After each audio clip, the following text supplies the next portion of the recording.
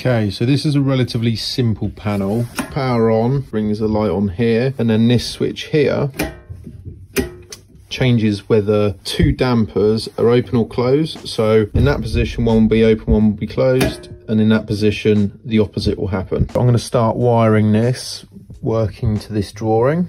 So this is the mains bit done. L1 neutral going into the door isolator and then L1 to Q1, the MCB, and then out of the MCB into the power supply. And then it's pretty much the same with the neutral, just straight into the power supply. In here, L1 and neutral, neutrals straight there.